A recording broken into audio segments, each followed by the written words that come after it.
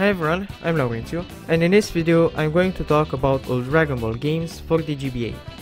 The first one, Dragon Ball Advanced Adventure, is a fantastic game, and not just gameplay wise, but it manages to cramp into the 15 levels many of the key moments of Goku's childhood. Up from when he meets Bulma, to the fight with the Red Ribbon Army, up to the fight with Piccolo. The game isn't just a generic side-scroller, but it gets better and better the more you play. You get generic enemies, it's true, but you get unique and interesting enemies too, like Piccolo's underlings or Red Ribbon Army soldiers. Also the gameplay is pretty varied, having not just side-scrolling levels, but Nimbus flying levels and complicated levels with multiple pathways and secrets. And you also get one-on-one -on -one boss fights too. Also, Goku has a nice handful of moves that all look and feel cool. You get multiple characters at the end, and you can fight those characters one on one. It's one of my favorite games on the GBA. I deeply recommend this game. Dragon Ball GT Transformation is in the style of a normal beat'em up, and even if it doesn't innovate the genre, it packs some fun. You play with three characters, Goku, Trunks and Pan, and each one has its own unique set of moves and special ki attacks. Oh, and the title of the game is Transformation, as adult Goku is turned back into a child and has to retrieve the Dragon Balls again to get back to normal. And at the end of the game you can see Goku transform into Super Saiyan 4 Limit Breaker, but the boss fight isn't as epic as the transformation.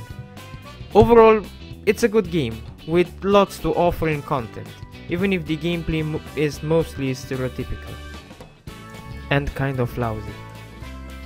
Dragon Ball Z Supersonic Warriors is my favorite Dragon Ball game on the GBA and one of my favorite fighting games on the console. There are 13 playable characters, the combat system is awesome, everything about it shouts epic when you play it. Whether it is a punch you throw or a ki attack you make. But I have to admit that in later battles you will rely mostly on ki attacks, if you're like me as your main source of attack because the close range fights have a high chance of you losing. And aside from the epic battle system you get, you also get multiple stories, and all of them are interesting. Most of the characters have a personal story, so you get into it and explore it. It's a game that offers so much and it's so well made that I will replay it anytime. Ju just try it. Ju just try it and see how and see for yourself how fantastic this game is. Dragon Ball Taiketsu feels cheap and looks cheap. You get 15 playable characters and 10 ugly battle arenas. It has no story, but it has a tournament mode where you fight 7 random opponents, a practice mode, a time challenge, and an endurance mode where you fight enemies till you lose. The game feels rushed. It's a pretty bad one, but you can spot that from the video yourself too, without me telling you this. Dragon Ball Z collectible card game is a card game after the trading card game of Dragon Ball Z. As you can spot from the video, I don't know how to play, but I've read a review, and the reviewer says that the game is okay. Not good, not bad, but okay. It's a mixed bag of both good and bad things. So if you are into stuff like this, just know that the game exists. Dragon Ball Z The Legacy of Goku is an action role-playing game that manages to cram the entire Saiyan saga into one game. But even if it sounds promising, don't get your hopes up. It's a pretty lousy RPG. You play as Goku and everything is pretty straightforward. Character interactions aren't as plenty as the genre might imply, and the level designs are horrible. You've seen other GBA games on this channel, and you saw what the GBA is capable of.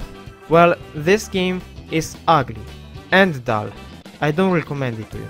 And there isn't just one game, there are actually two Legacy of Goku games. And the second Legacy of Goku game is the same as the first one. Still dull, still lousy and still playing. And not only this, but after they made two dull games, they made another one in the same style. They made Dragon Ball Z Buu's Fury. And it's a dull and plain experience as the other ones. And one premise of the game isn't a good idea to start with.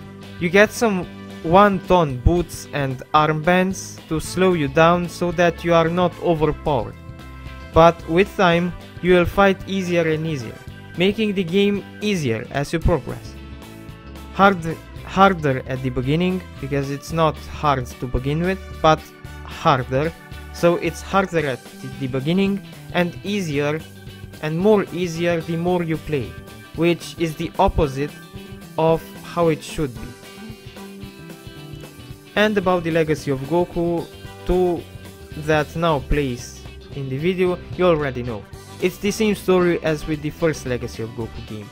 Okay, so this was my opinion, but as Max Morgan says, I was way too subjective. Even if I didn't like it, the game should get more recognition. Comparing the three games, you can see progress. And as Max Morgan says, they went the extra mile in developing the following games. So even if Legacy of Goku 1 was dull and linear, Legacy of Goku 2 and Buu's Fury are improved. I mean, if the first one was linear, these two have free roam. Legacy of Goku 2 and Buu's Fury have free roam, and you can fly around and get transformations. You, you, you can transform into Super Saiyan, and you can play with multiple characters. For a GBA, it's amazing what they crammed into this small cartridge. And according to forums, it's amazing how accurate the games can be to the anime. And for the next part, I'm going to read what Max said, as I never finished the last two games. I mean, I've played big chunks of them, but didn't finish them as they weren't my taste. I, I didn't like them. So, even if the story was better, they went way more in depth this time around in adapting the Cell saga and telling a more complete story with better character interactions than they did in the first game. And they even squeezed in a bonus character with a gag alternative, ending for post game, which they absolutely did not have to do. So yeah, they really went the extra mile when developing Legacy of Goku 2 and Buu's Fury and I'm sorry for not giving it the praise it deserves. Just because I didn't like it doesn't mean that it's a bad game, and my review should have been more objective. And uh, I'm, I'm sorry for the first review, but yeah, that's why I'm redoing the video and re-uploading it now. Oh, and Max, thank you. Thank you for the comment. When I saw your comment and how polite you were, I just couldn't couldn't not remake the video. Thank you. You were so polite and and you you didn't you you had that constructive type of critic, not insulting, but just seeing your point. Okay, so this was the video. If you liked it, please hit the like button and subscribe. And if you want, follow me on Twitch, Instagram or Discord. I'll have the links to those in the video description.